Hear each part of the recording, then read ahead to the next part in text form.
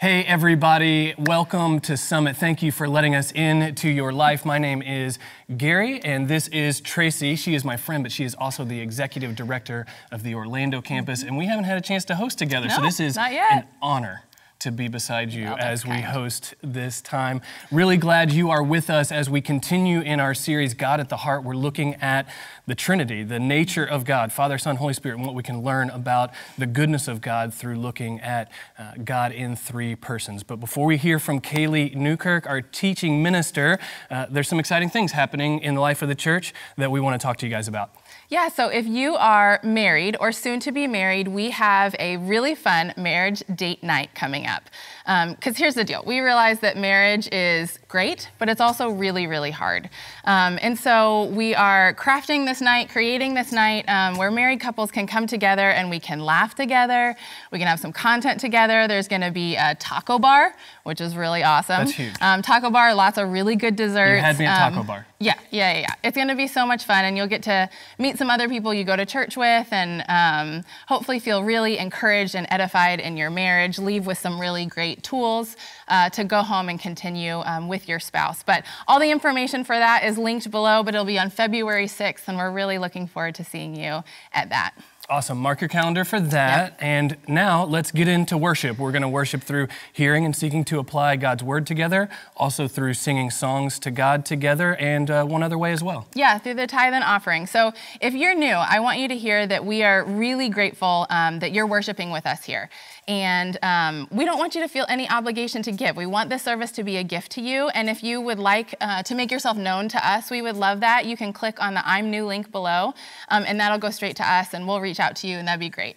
Um, but if you are a regular attender of Summit and you're a member of the body of Christ, you know that we give because we actually get to participate um, with God in the work that He's doing in the world um, with our finances. And it's really a fantastic way to be able to serve our community and, um, yeah, be obedient to God. And so if you would like to participate in the tithe and offering during this service, you can do so um, by following the prompts on the screen. You can also click the link below to give directly through the website. Yeah. So let's worship together the God who is three in one Father, Son, and Spirit.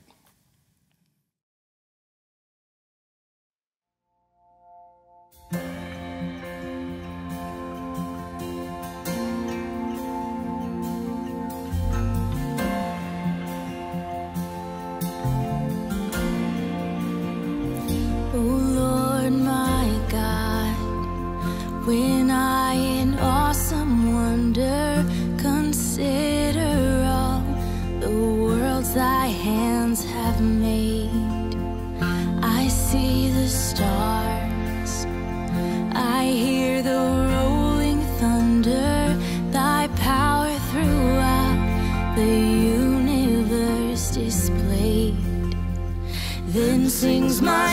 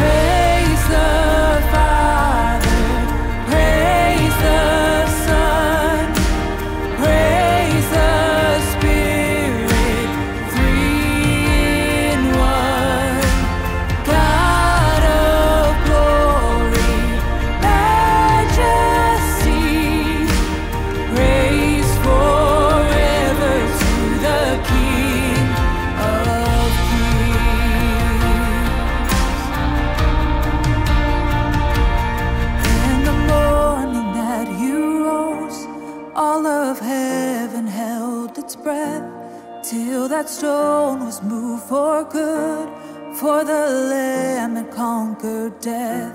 And the dead rose from their tombs, and the angels stood in awe for the souls of all who'd come to the Father are restored. And the church of Christ was born, then the Spirit.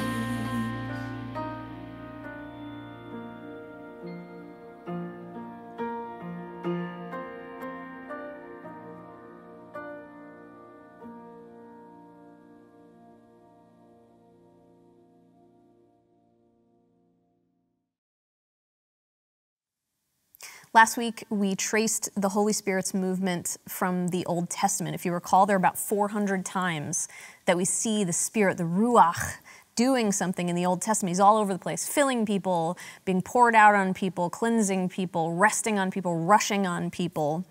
And, and this week we're going to continue our pursuit of that Holy Spirit, but we're going to move from the Old Testament. We'll get a little Old Testament from the Old Testament into the New Testament where he gets a, a new name, by the way, a Greek name. So it's no longer Ruach, but Pneuma. Same spirit, different word.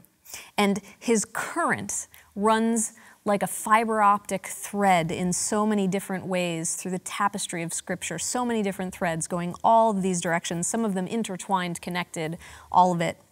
And to get an idea of the, the personality of the Spirit, um, we're going to follow one of those threads, just one. I mean, there's so many, too many. Uh, we can't do them all, but we're going to follow just one thread. We're just going to tug on it to see where it leads us from the Old Testament into the New. So you don't have to follow along in your Bible. We have all the references for this printed out, or you can click on it in the in the digital bulletin. But uh, you can just listen as I go through this thread and just kind of try to be present with me. So in Genesis 1, we see the Spirit hovering, right? Better translation might be quivering over the tohu vavohu, the, the wild and waste of uncreation, just, just, just waiting for that word from God, let there be, so that the spirit, the, the ruach, can spring into action, enlivening, animating the creation, bringing life to what the Father has made through the Son. So he's there at the beginning, which means, again, the, the, the Spirit is an eternal member of the Trinity. He's an eternal member of the triune God, a person of the Trinity. So then we can see the Spirit kind of weaving to and fro, to and fro, giving strength and wisdom to the leaders, the judges, the kings, and then of course inspiring the prophets like Joel and Ezekiel and Isaiah. So prolific, right? Isaiah foretells the Messiah, Jesus Christ. And then the Spirit leads the Israelites out of slavery through the desert and even comes and stands between them and the Egyptian army, standing like a protective angel. In the New Testament, the Spirit pre- prepares the way for Jesus. So we've moved into the New Testament now, and the Spirit is preparing the way for Jesus through John the Baptist. We, we read in Luke that John was filled with the Spirit even from birth. You know, so again, we get this idea the Spirit only shows up in the New Testament. It's not true. He's been there the whole time. He's preparing the way. We see the Spirit overshadow Mary, the unwed virgin, and then and, and placing in her womb the incarnate Christ. We see the Spirit resting on this, this old faithful priest named Simeon. And I love Simeon because he's, he's thrice inspired. He, he gets, he, three times the Spirit touches him. So, first, you know, uh, the Spirit rests on him. It says in Luke, the Spirit rested on Simeon. And then the Spirit also revealed to Simeon that he wouldn't die until he saw the Lord's Messiah. And then, when Mary and Joseph take baby Jesus to the temple to be dedicated, it says the Spirit moved him. The Spirit moved him, prompted him to go to the temple, and there he sees, he sees Jesus. And he takes that baby in his arms and he says this prophetic blessing over him, which is just dripping with images from Isaiah, Isaiah's prophecy about Jesus, which again was inspired by the Spirit. You can see these threads kind of weaving their way together. And then we see the Spirit break through the heavens when Jesus goes to be baptized and it comes down and it rests on him at his baptism. And then immediately that same Spirit drives him into the desert to be tempted, to be tested by Satan.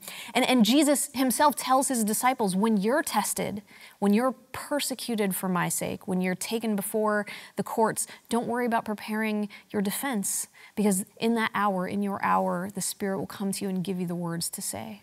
The Spirit will comfort martyrs in their hour of death and give them the words to say. Jesus is crucified and buried, and Paul tells us in Romans 8 that it's the Spirit of God that actually brings life back into Jesus' body. Jesus is raised from the dead through the Spirit of God. And then we see that huge moment in Acts 2 where the Spirit came to rest on the believers like tongues of fire over top of them. That's where I think that's where most Christians like we kind of think, oh, that's when the Spirit shows up. No, no, he's been he's been here the whole time. Look at these threads, right? And so he, he comes to rest on, on people and they start speaking languages that they'd never studied. And what are they saying? They're, they're saying the mighty works of God in the Old Testament passages that they have studied about what God has done, but they're saying it in these different languages because there's all these people gathered for Pentecost, for this festival, from all over the world. And so they're proclaiming God's works in each of these persons' native tongues. It's this beautiful moment of inspiration. And then that same spirit spreads like wildfire, you know, over Jews and Gentiles when, when the, the disciples begin to preach the gospel. And then Paul, Paul, that ludicrous wild man, Paul, the, the, the, the late great addition to the apostles' team, Paul tells us that when the Spirit comes to dwell in our hearts, there will be evidence right? We call that fruit. There will be fruit. The fruit of the Spirit is love, joy, peace, patience, and so on. So, again, this is only one thread. This is one thread that we've just barely tugged on, but the Spirit is all over the place, all over the place. Uh, he has spirit fingers in every cookie jar of the biblical narrative, you might say. And Jesus himself, he has something to say about the Spirit. So, when Jesus is about to, to, to go through his passion and to die and to leave um, and to ascend to the Father, he, he tells the disciples about this Spirit that's going to be coming to them. And so I, I, want that to be our primary text for today. We're going to look at what Jesus himself says about this coming Spirit. I think this will help us to get to know not just, again, not just information about the Spirit, but, but the person, the personality, you might say, of this Holy Spirit. So to that end, let's pray. Jesus, thank you for sending us the Paraclete, the Helper, the Holy Spirit, to be with us throughout our many trials, throughout our many needs. Thank you for making your home in our hearts so that we always have the opportunity to access you. You're always there. We just have to ask, we just have to connect with you. Lord, I don't live my life that way most of the time. I don't live with it at the forefront of my mind that you're always with me, that you're always available to me. And of course, the, the, the ideas that our culture gives us about um, an angry God, a wrathful God, don't help the matter. And so, Lord, I'm so grateful as we've gone through this Trinity series to learn about your, your life giving, outgoing love and the fact that you created us just to lavish your love on us and that you want to come and make your home in our hearts. And so, Lord, we want to learn about the third person of the Spirit who makes his home in us. Would you help us? Would you help us to lay down at your feet everything, all the assumptions, anything that would keep us from understanding who you are, and by extension, who you call us to be? And so we pray these things in the name of your Son and your Holy Spirit. Amen. Okay, John chapter 14, this is John 14, beginning in verse 15. Let's look at this, this together. By the way, I'm going to be reading from the message translation, not because it's my favorite, but because it, this passage in particular is just so much easier to follow and understand in that translation. So uh, ho- hopefully that helps. John 14, beginning in verse 15. This is Jesus talking to his disciples again about them receiving the Spirit. Verse 15 If you love me, show it by doing what I've told you to do. I'll talk to the Father, and He'll provide you another friend so that you'll always have someone with you. This friend is the Spirit of truth. The godless world can't take him in because it doesn't have eyes to see him, doesn't know what to look for. But you know him already because he has been staying with you and will even be in you. I will not leave you orphaned. I'm coming back. In just a little while, the world will no longer see me, but you're going to see me because I am alive and you're about to come alive. At that moment, you will know absolutely that I'm in my Father, and you are in me, and I'm in you. The person who knows my commandments and keeps them, that's who loves me. And the person who loves me will be loved by my Father, and I will love him and make myself plain to him. Judas, not Iscariot, said, Master, why is it that you're about to make yourself plain to us, but not to the world? Because a loveless world, said Jesus, is a sightless one. If anyone loves me, he will carefully keep my word, and my Father will love him. We'll move right into the neighborhood. Not loving me means not keeping my words. The message you are hearing isn't mine, it's, it's the message of the Father who sent me. I'm telling you these things while I'm still living with you. The friend, the Holy Spirit, whom the Father will send at my request, will make everything plain to you. He will remind you of all the things I've told you. I'm leaving you well and whole. That's my parting gift to you peace. I don't leave you the way you're used to being left, feeling abandoned. So don't be upset. Don't be distraught. So, a few things that I think we can learn about the Spirit here, which are supported, of course, by, by everything that we've already seen about the Spirit, this thread that we've followed. You know, remember from last week, test the spirits. Make sure that this teaching aligns with the whole counsel of God. So, so, so what can we learn about the Spirit? Three things uh, that I want to pull out for us. Um, first, that the Spirit comes by invitation. Second, that the Spirit purifies what it touches. And third, that the Spirit brings new life. So, first, the, the Spirit comes by invitation. I want to direct you back to verse 23 here. If anyone loves me, he will carefully keep my word, and my Father will love him. We'll move right into the neighborhood. So, so the Spirit comes by invitation, but invitation is more than just a verbal prayer. I think we have this idea that you know that get the receiving the Holy Spirit is just about some magic words, the magic prayer. Jesus, let your Spirit come live in my heart. And don't get me wrong, I am not underselling prayer. It is powerful. And the prayer, Jesus, let your spirit come live in my heart, is a powerful prayer, but it is only one type of invitation. It's a verbal invitation, right? When, when I was in my 20s um, and I was learning accounting and doing some accounting, I started to, to do some HR as well. And as a kindness to me, my boss set me up with a, with a meeting, a networking meeting with one of his contacts who was kind of a big deal in HR. I mean, she was like at the, the highest level of leadership in HR in her very big company. Uh, so I could pick her brain and maybe have a mentor. But I think she must have said yes to that meeting as like a personal favor to him. because when like maybe she owed him money i don't know gambling debt who knows uh, but because when, when i showed up to the meeting and she took one look at me and my Rieger hoodie and my purple hair, it was so obvious from that moment forward. She just, she was, can we please just get this over with as quickly as humanly possible? I mean, posture, body language, tone of voice, shortness of responses, all of it basically screamed like, let's just get this over with because you, little girl doing HR, are an absurdity you're like an anime character with a spreadsheet. So I, so I learned I learned something from that meeting, something that did in fact benefit my career moving forward. I learned that there was more than one way to send an invitation. Right? She gave a verbal invitation, but her body, everything about it emphatically told me that I was not welcome to come in. Verse 23 Jesus says, If you love me, you'll keep my word. That's how I know I'm invited. That's how I know I'm invited in. And we'll move right into the neighborhood. Father, Son, Spirit, we will come at your invitation, which you will issue not in word alone, but with your body, with your whole self, by making the vessel of your heart an inviting place for the Spirit to live right? Invitation is more than just saying, come over, it's making the space ready to receive your guest. It's about making the space ready. Maybe you've invited the Spirit to live in your heart, but is your heart is your heart very inviting? Have you vacuumed the place up? You know, have you have you got rid of the dog hair? Have you put the kettle on? Made some biscuits? Have you prepared some icebreaker questions to ask them so that you can get to know this very wonderful, incredible, mysterious person, this Holy Spirit? In our thread that we followed in the beginning, we see the Spirit showing up with people, in people who have, who have invited the Spirit with more than just their words. And certainly they do pray, right? Jesus prays, Simeon prays, the apostles pray at Pentecost, but they were not just saying words, they were devoted. They were studying God's word. They were, they were fasting together. Verse 23, they were keeping the commands of Jesus.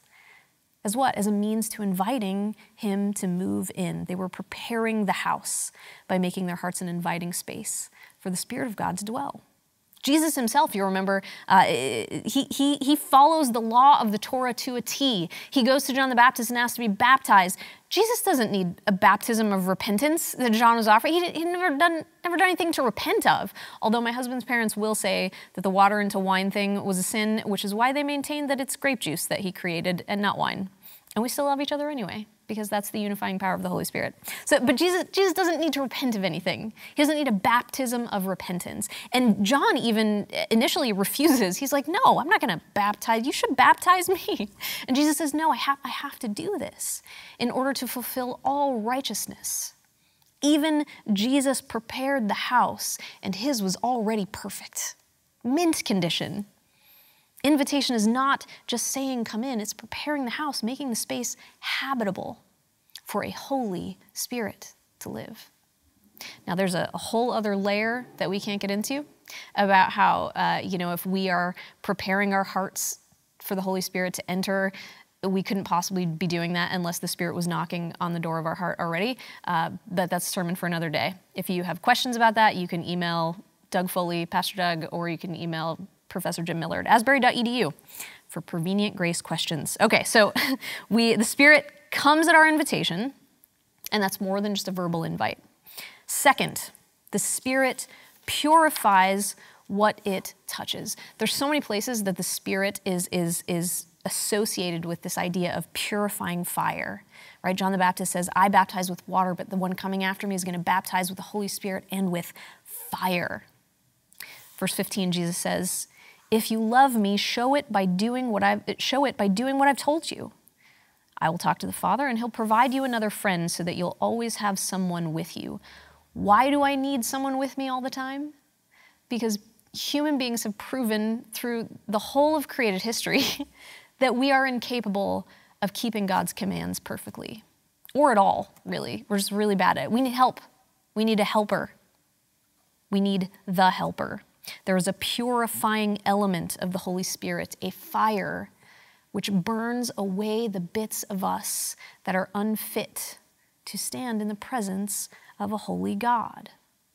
That's why, that's why sin becomes so uncomfortable when you become a Christian. I became a Christian just before college, so I already had a group of friends, right? I was running with a posse, and we were, to put it mildly, up to no good. now, in fairness, that was mostly kind of self medicating escapism due to our dysfunctional families of origin. But if you want to hear more about that, you got to come to regroup. So, so my friends, we had they had no loyalty to the Bible or to the commandments, right? Sex before marriage is a sin. Why is that a sin? That's, that's an expression of love. Doesn't God love love? Isn't that what you've been saying? That's, I mean, I thought that too. I had that I had that kind of mindset too. But then I became a Christian and the Holy Spirit began to purify my heart, to burn away those impurities. And suddenly, sin got very uncomfortable. Why? Because it just got red hot. It's being burned. It's being burned in me. In our thread in the beginning, we mentioned the Apostle Paul, and, and he says in Galatians that, that there will be evidence of this purifying presence of the Spirit in our hearts, will, the fruit Galatians 5, the fruit of the Spirit is love, joy, peace, patience, kindness, goodness, faithfulness, gentleness, and self control.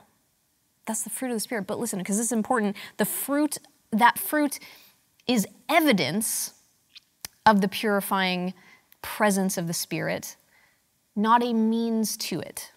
Does that make sense? Like, uh, more simply, it means that, that, that, that doing good stuff doesn't purify me, but the purifying presence of the Holy Spirit makes me want to do more good stuff. When the Spirit is in me and it's burning off those impurities in my heart the envy, the lust, the pride what's left? Love, joy, peace, patience, kindness, and so on. Patience isn't something that we can muster up in the moment, as anyone who's been driving in Orlando for any length of time can tell you. You can't just make it come out of nowhere. It's, it's, it's the outcome, the inevitable outcome, actually, the byproduct, the evidence of, of, of that purifying spirit already at work in me. And that is both uh, good news and bad news. The bad news is you, you can't force it, can't force fruit out of nowhere. You know, you, you think you're being patient. I think I'm being patient by just not just being silent by not saying all the mean things to your spouse that you want to say about how he loads the dishwasher or whatnot. That's not patience. And, and, and in fact, your whole family is walking around on eggshells because they are just biding their time until the explosion they know is coming because essentially you've stuffed a sock in the top of a volcano. That's not patience. We can't make fruit appear by force, it has to grow. Over time, under the right conditions, fruit will grow.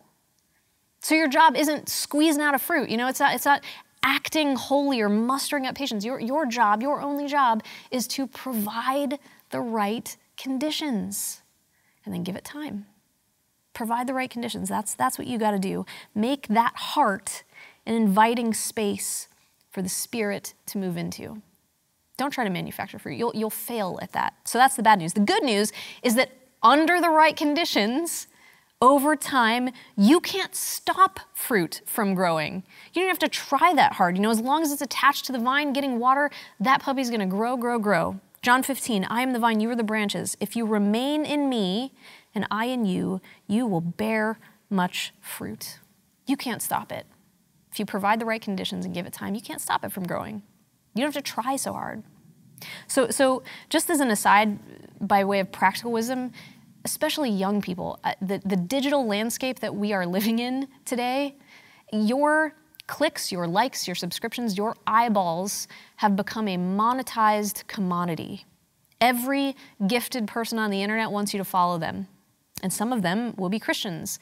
But, but gifts, gifts, and, and, and if they're truly indicative of the purifying presence of the Holy Spirit, listen, gifts will always come in tandem with fruit. They won't appear without one another.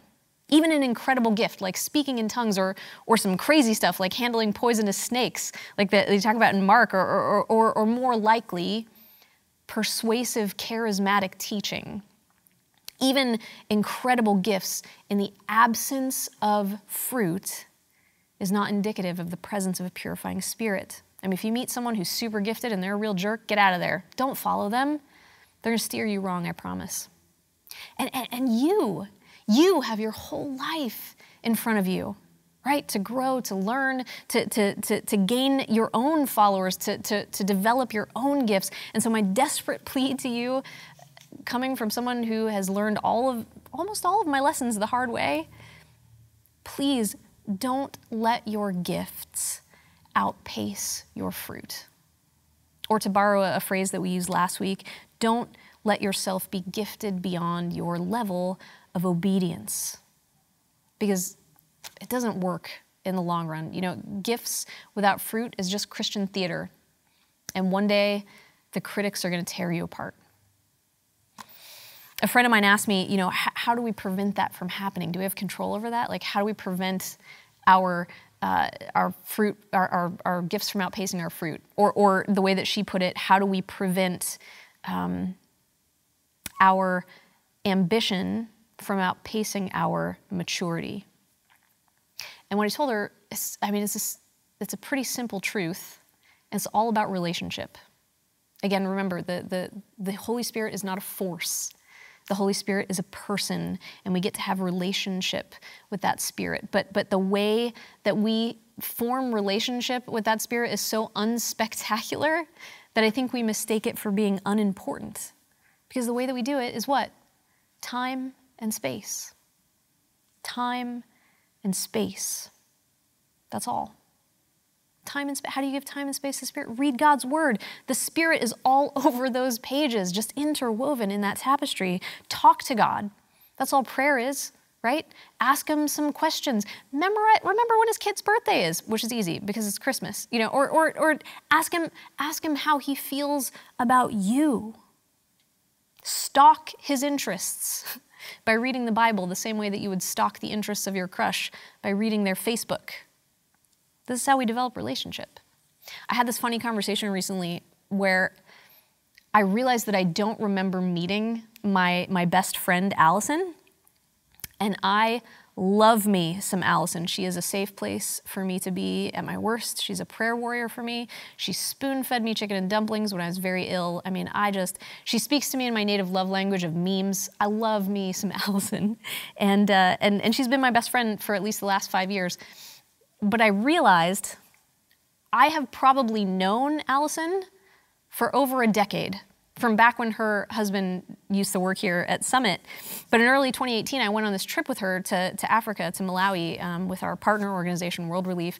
And uh, that trip was so fun and so surprising and, and so interesting. And, and, and Allison was my roommate, and we were the only two women on the trip. And so we spent all of our time together. You know, hours and hours of, of not sleeping due to jet lag or mosquitoes uh, or, you know, lack of AC. I don't know, we're so American. And, and, and so we just chat away in our beds, and I would hear her hopes about, uh, her hopes and her fears about her two daughters who were grown up way too fast. You know, how she met Jeff, I didn't know that.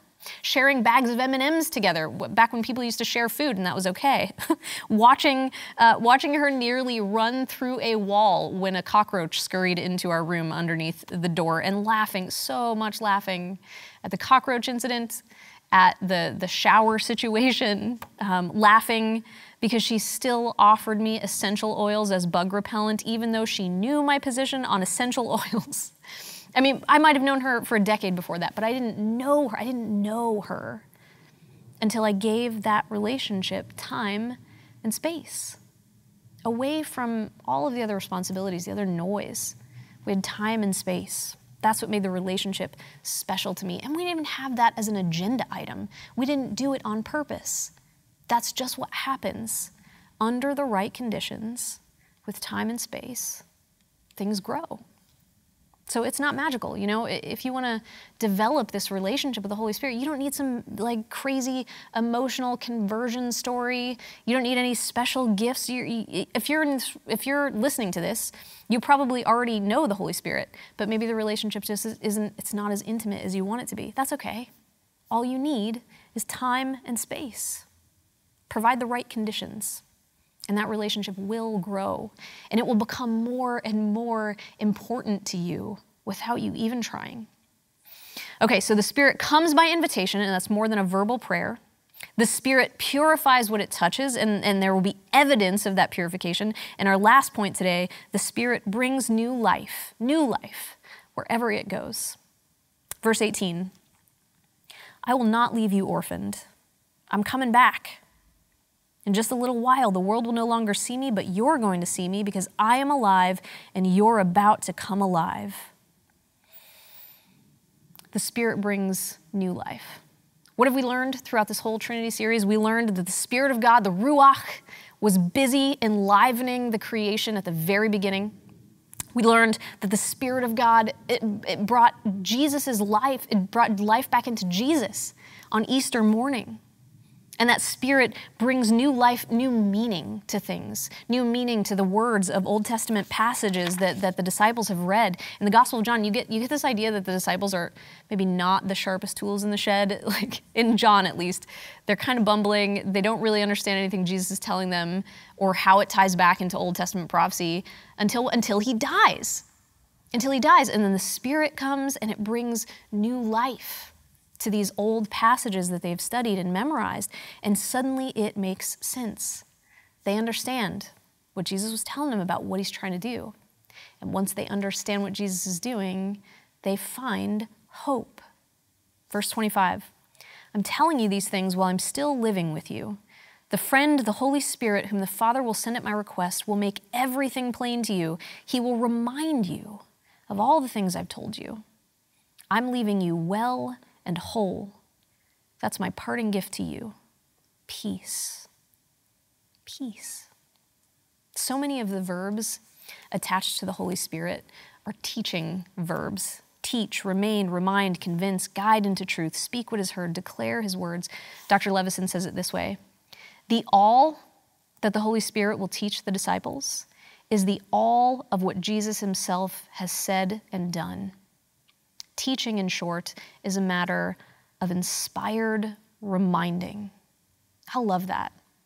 Inspired reminding. It kind of ties back into what we talked about last week. The Spirit inspires through preparation. Like we have to study His Word, we have to read the Bible. Otherwise, there will be nothing for Him to remind us of. It's only through inspired hindsight that a crucifixion can look like glory.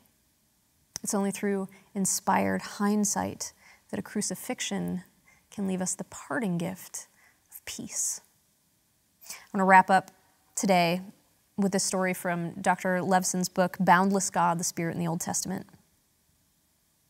A friend of mine who once worked for an international aid agency told me how workers deal with starving children. At the acute stages of starvation, the body shuts down. It is numb, no longer ravenous, barely hungry. Aid workers respond by placing sugar water on the lips of the starving kids. Eventually, the fortunate ones begin again to feel hunger. When they do, they hurt intensely. Their bodies racked with pain. They scream, bellow, and wail as their small bodies begin again to beg for water and bread. They are resurrected. but the midwife of this new life is overwhelming pain. Before Jesus so graciously made his home in me, I had been giving pieces of my heart away to so many different things, you know, um, the pursuit of recognition in education or work, making money, romantic relationships, trying to do the types of hobbies that I thought would transform me into a fun, interesting, lovable person. You know, I, I gave pieces of my heart away to these things, just hoping that one, any of them would give me life back. And they never did, not for long. I thought I was investing, right? That I could expect a return, but I found over time that I wasn't investing. All that I was doing was being drained, and none of it was coming back. New life can be extremely painful. It was for me, especially at first, because suddenly I recognized how desperately, completely empty I really was. How completely void of nourishment I had been for so long, how selfish I was, how desperate I was, how impatient, how bitter, how demanding, how entitled, how insecure, and yet somehow also how prideful. It is painful to experience our own emptiness in the presence of God, but, but that's when the possibility of new life exists. It's when our soul begins to register how very empty it is, how very hungry we are, that we are then able to receive nourishment, that there's a possibility of being filled. So we don't have to be afraid. We don't have to be afraid of that. We don't have to be afraid to feel our hunger pangs when there's already bread on the table. The Spirit comes at our invitation when we make the space ready to receive Him. The Spirit purifies, and we will see evidence of this. We'll see the fruit. And the Spirit brings new life to old things, to dead things. He's always opening our eyes to the truth, even when what's true makes us ache. But the one truth, the ultimate truth that the Spirit wants to teach you and me, the whole thing is that Jesus Christ is the Son of God and that He came and He died in payment for our sins so that we could make our way back to the Father. And, and, and that kind of truth, that there is a Father who is overwhelmingly bursting with love for me, that there is a Son, Jesus Christ, who died and paid the debt that I deserve to pay, and that there is this Spirit who brings dead things back to life, like my heart for me at least, that's worth the ache. Let's pray. Jesus, we're so grateful for all the pain that you have endured so that we wouldn't have to endure it for all eternity. Thank you that you got up on that cross and allowed yourself to be separated from the love of the Father that you had enjoyed eternally so that we wouldn't be separated forever. Lord, we need you. We need to understand the kind of God you are and not the kind of God we think. We need to understand your purpose for us, your love for us, because it changes how, how we do our lives. It changes where we put our energy. Lord, I pray that every person who is hearing these words would, would, would reach out to you with open arms and say, Please come. Please, Lord, help me make my heart ready for you to dwell in me. Help me understand who you are, your personality. All three persons of this Trinity, this triune God, are loving and truthful and just and kind and merciful and peaceful.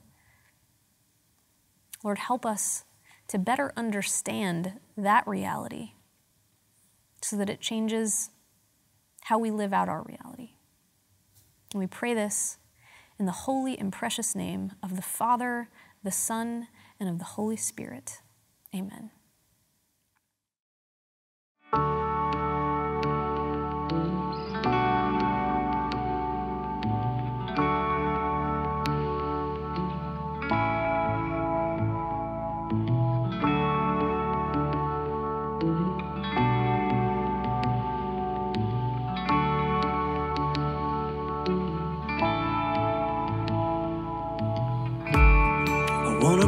Principle within of watchful godly fear, the sensibility of sin, the pain to feel it near. I want the first approach to feel of pride or wrong desire to catch the wandering of my will and quench the kindling fire.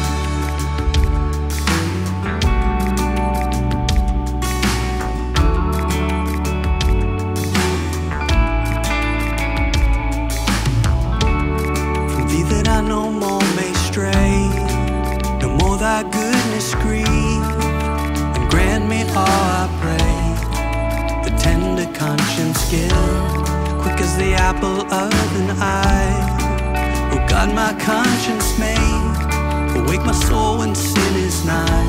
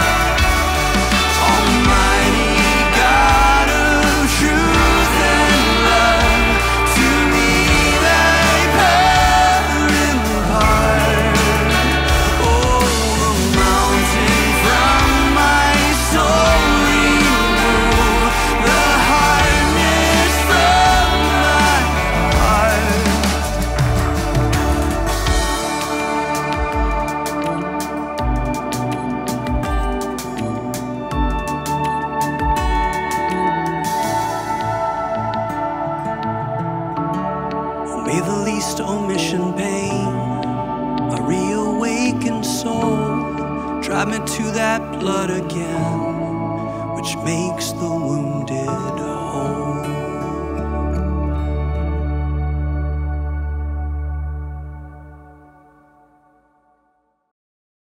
Well, thank you for being with us and being the church where you are. As we move into this week ahead, here's a good reminder God is a God who brings new things, and He does it through His Spirit. But we need to return to Him again and again and again. And so, my encouragement is focus on, look on, look toward this God who makes all things new. And one aspect of remembering that the church has shared in for as long as the church has existed is communion. There's a link below that will walk you through how to take communion. I can't encourage you enough to do that as an act of worship, remembering the God who makes things new. Everyone, hear these words of benediction. May the Lord bless you and keep you. May He make His face to shine upon you. In the name of the Father, the Son, and the Holy Spirit, go in God's grace and His peace. The service has ended.